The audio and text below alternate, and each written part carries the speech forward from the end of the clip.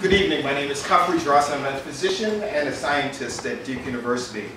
Rather than begin by telling you about all the amazing progress we've made in neuroscience, I thought I'd start off by telling you about one of my experiences that really motivated the work we do in the lab and perhaps highlight some of the challenges we have as physicians, scientists, and researchers in really healing patients and their families of some of these illnesses we've tried to overcome. After my two years of inpatient psychiatric training at Duke and one year of outpatient training, I realized that one of the major challenges we had was transitioning people from the inpatient services to the outpatient services. This was particularly most poignant when we were thinking about those suffering from what we would call new onset disease. This is their first experience, folks typically who would be in their late teens and um, early 20s.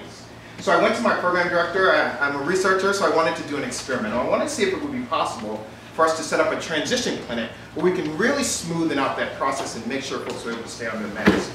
So she agreed to let me do this experiment. Um, I went in and one of my first patients, uh, I'll say his name is M for the sake of maintaining his confidentiality. Sometimes I'll change ages a little bit, genders a little bit, and definitely initials, but this is a, a, real person.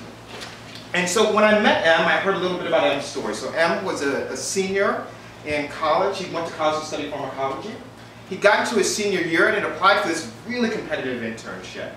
It took about six months to apply for the internship. He was one of the five people who got this internship at a local uh, pharmaceutical company. And this internship, they would bring five people in, five interns, and they would essentially compete for a semester for six months. And at the end of this competition, they would invite one person, and they would hire them and give them the job. So M uh, was selected as one of these five interns. He started working really hard. He said this is the most stressed he'd ever been. Over the course of the six months, his sleep got a little bit disrupted. He started noticing he had problems concentrating his work at work, and his mom and his girlfriend would say his, his emotions started getting a little bit erratic. Near, near the end of the six months, his, his mom finally just decided she had to bring him to the hospital. They were walking in Whole Foods, and he started having these experiences where he was looking around the corner and he thought the FBI was watching him. So he ended up on the inpatient psychiatric unit. They diagnosed him at the time with what they thought was bipolar disorder, the psychotic features, and started him on two medications. One was an antipsychotic Risperdal, the other one was lithium. And I saw him after he'd been there for about 12 days as they were getting ready to transition him out of the inpatient unit. So I sat down and I, I, talked to him and his mom and said, look, the most important thing is I've, I've got to get back to this internship. A week before he came to the hospital, he figured out he'd been selected as the one person who was going to get invited to join the company. So he said, I've got to get back there. You know, the timing worked out okay, so I can tell them this is a vacation, but I've got to get back there as soon as possible. He said, Doctor, you've got to understand, this is my first job, right? I've been working for this. This is why I went to school. And he said his goal was to get back as soon as possible. Now I cautioned him, right? These medications are extremely powerful. They come along with some really troubling side effects. And, and, and, and, the main concern for me at that point in time, thinking about these illnesses, these psychotic disorders, is they can have lifelong courses if you aren't able to stay on your medication early on. So you can have decreases in cognitive function that can, that can stay with you. But he was really insistent that he had to go back to work. His mother agreed. And my job was to transition him out of the hospital. And so we agreed to do that, but I would get to see him four days later.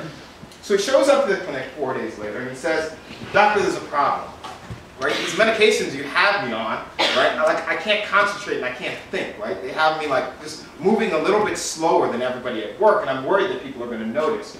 So I've got to stop these medications. Now, me as a psychiatrist, I said, no, that's probably a bad idea, right? I'm like pulling out the literature, I'm trying to explain it to him, I'm walking through with his mom, I'm on up to date, I'm giving him access to information, I'm trying to connect him with the local NAMI chapter, and, and like he and his mom just stop me, looks at me, he says, look, I, like I, I know you're a doctor, right? I know you've been in school for however long, but I don't think you really get it. I've been working for this job for the last four years, and now I have it, right? It's, a, it's the one thing that I want. I want this job. And I know you're talking about all this like lifelong stuff, but if I don't have this job, I'll have nothing to do, and I'll have nothing to live for. What is the point of living with this mental illness if I can't work, right? This is what I'm doing. This is what I'm here for. And he stopped and he paused and he looked at me and he looked at his mom and we all got silent in the room. and what he was saying was, doctor, like, I'm stuck, right? On the one hand, like, I completely recognize that I have this illness that I need to take seriously and I need to think about. But if I treat this illness, the medications are going to do something that ruins my life. right? And for me at that point in time, I like to walk through the medications and walk through symptoms. But you know what? He was right. I knew the medications were making his mind slower. In fact, that's actually what they're supposed to do. It's why they work. The problem is, the side effect is that they were making his mind slower. He wasn't thinking as fast as he was. In fact, he was moving significantly slower. He was having some problems drooling, right? These were real and living problems. And what he was saying was, he was stuck, and I got it. And I didn't just get it because I'd spent the last six or seven years in school learning to become a psychiatrist. I got it because these, these experiences were truly intimate to who I was as a human being, and, and I'd seen them in my family as well. And one of my siblings, there's, there's five siblings, four of them have depression, bipolar disorder, or schizophrenia. In, in fact, one of those siblings has, one has bipolar disorder. He himself is a professor, and he struggles with the same things with his medications. With when he takes them, they make his mind go too, too slow to work. So I understood exactly what this young man was talking about. So, so as Victoria talked about, we've got this organ, right? We've got all these cells in this organ called these neurons, right? And, and, we've got all these amazing scientific things happen. The question becomes, why am I sitting there and I have nothing to offer this young man when he's presenting me with something that I understand is real, I understand he needs his medications, but I also understand he's stuck. So the brain is an organ. It's, it's, it's small enough to fit in the palms of both your hands. It's got about 80 billion cells that we call neurons, another 80 billion cells, and some say it's critically important, others say it supports those 80 billion neurons. But what is known is who we are as human beings, right, is locked within that organ and the interaction of those cells with one another. Right? It's the first thing when we wake up in the morning, it's the, the smell of fresh coffee when we walk down the stairs, when we, when we nudge our little kids to get up and get ready for school. It's us remembering how to drive to work, the motor behavior that allows us to drive the car, that, that which allows us to do work and come home at the end of the day and remember how to get there. All of that is locked into this little organ we call the brain. And so it's in there, right? It's like Prego says, it's in there, right? We got to know how to go after this, but here's the problem. So if, and I'll give you an example of, of where we really struggle with how to get into this physical organ and figure out how to come up with new treatments, right? So it's called mental health tapas. If I was to ask anybody who'd like, you know, some burgers and fries, put your hands up. Or, or yeah, some nice lamb, right? Or, or, or, or some steak and potatoes, right? Here's the challenge, right? As I was doing that, my mouth generates these pressure waves. These pressure waves travel through the air, strike your tympanic membrane. Through the incus, stapes, and malleolus, this is changed over through the kinocilium and their tip links into chemical energy. Once that chemical energy is changed into electrical energy, travels down the cochlear nerve into your superior olivary nucleus, hits your auditory thalamus, hits your auditory cortex, where it's transitioned into pitch. Then on the left side of your brain, in the Wernicke's area, is transitioned into these words. These words have representations that show up in your frontal cortex and your parietal cortex, and all of a sudden you see a burger and fries in your head. Your motor cortex is released, that signal travels down your spinal cord, hits your musculocutaneous, your medial nerve, your ulnar nerve, your radial nerve, your hand goes up, and all of that process happens in less than half a second. So if you have this simple process that's simple as responding to a burger and fries, how much more complicated are the ideas that the government is out to get you right? Your ability to concentrate at work. All of that is locked within this organ. We call that processing. The idea that each of this little bit of information processing happens in different places, distributed processing. So many parts of your brain are working together so quick that they're all one machine. It's like driving a car, right? You don't think, oh, man, I've got to make my engine go a little bit further, man, I've got to turn the wheel. It all happens at one time, and that's how the brain operates. So I started to think about the brain in this way. I was an engineer by background, I was a chemical engineering major. And I heard about this guy at Duke who was doing this amazing work. His goal was to rebuild body parts and wire them up into the brain. And so I heard about this work. He had figured out how to build robotic arms and wire them directly to a monkey's brain so that a monkey could move the robotic arm by thinking about it. It was hooked up to the sensory cortex, so if you touch the robotic arm, it can generate these pulses that put the signals back in the brain. So the monkey can move, it can eat with this robotic arm. And I thought, wouldn't it be cool if we could do something like that for psychiatric illness. Read information out of many parts of the distributed network simultaneously, decode it, figure out where the problem was, and basically stitch the whole thing back together. So I started doing this work in, in late 2008, and we're taking advantage of mouse models. So the primary species that we use in my lab is mice. And the reason we take advantage of these mice is because we can take candidate genes that you find in humans. So there's these huge genome studies, right? Our goal you know, 10, 15 years ago was to identify the gene for bipolar disorder, the gene for schizophrenia, that wasn't the case. We find candidate genes, things that give you risk, right? So we don't have a gene for being tall or a gene for being short, but there are things that give you risk for being shorter, things that give you, you know, opportunities to be tall. So we find these risk genes that we can put into mice. And, and one that we're studying in particular was a gene, it was a circadian gene. And when this became disrupted in mice, they had much less anxiety, right? They didn't sleep, and they love cocaine.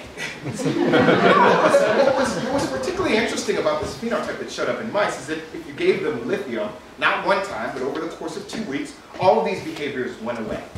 And so we were thinking about this as a model for bipolar disorder, and the question became, could we figure out where in the brain these problems were occurring? So what we do is we essentially transform a mouse into a robotic instrument. We're able to implant electrodes into the brains of these animals. We're able to record information from multiple sites simultaneously, 30,000 pieces of information per second, by implanting these wires, each the size of a piece of hair, into the mouse's brain. And this is just an example. We're able to record brain waves. These are the same things that Dr. Carpenter was showing you, these waves from the top of the skull. We're able to record the activity of each of these single neurons. This is a 3D picture showing us looking inside the animal's brain with the wires implanted. And we're able to keep these animals alive, and so we can pull these signals out of our brain as it's online in real time functioning. This is an example of what it looks like. We're able to ask ourselves what's going on in each parts of the network, right? So we're not talking now just this area or this area. It's all how the network interacts. We're looking at the whole thing simultaneously. And now we're not only asking questions about what's happening in a brain area, but how these brain areas are interacting with each other. And we're essentially trying to find roadblocks, right? So the idea is, you know, I'm, I'm old enough, right? I'll, I'll sort of give myself away. I'm old enough that I remember after track practice, if you wanted mom to pick you up, you had to get one of those pay phones, put a quarter in, and call mom, right?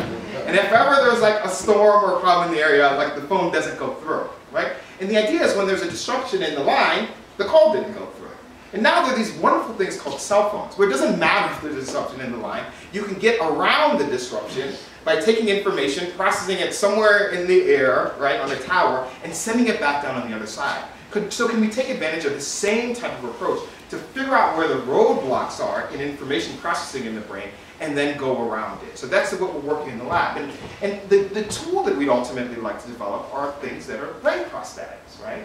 And so can we do things to supplement brain function? In, in, a, in, an ideal world, we will undoubtedly have some diseases in which things like transcranial magnetic stimulation are perfect. But in others, other devices might be required. This is a, a lot like thinking about um, illnesses of the heart in some cases. Uh, antihypertensive is perfect, uh, a cholesterol agent is perfect, but in some cases when there's a, a, loss or enough damaged tissue, a pacemaker might be the appropriate tool that's necessary to put the rhythms back into place. The same thing with thinking about hearing and cochlear devices. The question is how can we take these engineering devices, stitch them into biology such that they work together? Now this is, um, it, it, was a crowning achievement uh, for my advisors lab. This was last summer uh, at the World Cup, or excuse me, 2014 at the World Cup. So again, uh, this was a scientist. His goal was to rewire uh, machine body parts into the human brain. And he's a Brazilian scientist. And so he approached the Brazilian government. He said, I'd like to make a paralyzed person walk again. Now, of course, all of us in the lab, we, we used to think he was somewhat grandiose. We were like, you know, these are the, this miracle hasn't been performed in about 2,000 years, boss. but it seems like it's something you want to try on TV. Go for it. And, and so he approached the Brazilian government and, and what he called was the Walk Again Project. And his goal was to take a, a paralyzed person, build a fully robotic exoskeleton, put the paralyzed, the quadriplegic or the, the paraplegic person in the robotic skeleton, and by thinking about it, they would walk out and kick the opening kick of the World Cup. So this is a picture. It flashed really quickly if you were watching the opening ceremony of the World Cup because everyone was paying attention to, to J-Lo. But there are about five seconds in which they showed this scene. This is a, a, paralyzed Brazilian athlete who walked out in the fully controlled exoskeleton and kicked the opening kick of the World Cup. And for me, this is an incredible moment that suggested perhaps we needed to dream really big about the treatments that we can create for mental illness, right? That we can take care of, that we could, we have available to M, that would really that would really get him not stuck, right? Stuck between taking his meds and the problems that can absolutely come along with taking your meds, right? As he said, you know, what he was saying to me in that moment was, I want to live, right? I don't want to just be alive. I want to live. And I think that's the real responsibility that we as physicians and breathing scientists have, right? It is to put patients and their families and their lives back together. So this is the newest project that we're working on. This is uh, it's, it's the, the culmination of some of the work we've been doing in the lab. So we have these techniques that allow us to find the roadblocks, and now we're essentially building these brain, brain pacemakers. So we have our genetic models, and the idea is we're, we're just going to take information out of the animal's brain. We can process it. This is one computer, but this really happens about three computers because we have to do this in real time, which means that we have to be able to decode the animal's brain, which is about 30 milliseconds or, you know, point, point well, sorry, late night, 0.03 seconds, right? So we've got to be able to do this in 30 milliseconds, decode the information and put it in the animal's, back in the animal's brain using various techniques. We can do it with electricity or some light stimulation techniques as well. So we've just finished up our first prototype model of this brain pacemaker, um, and we're hoping to figure out how to scale that back now up into humans. All right, so, so the idea here is that by combining these engineering approaches, that we have and, and the medical observations that we make in the clinic, that we can develop a new type of treatment that will really put patients and their families back together. Thank you.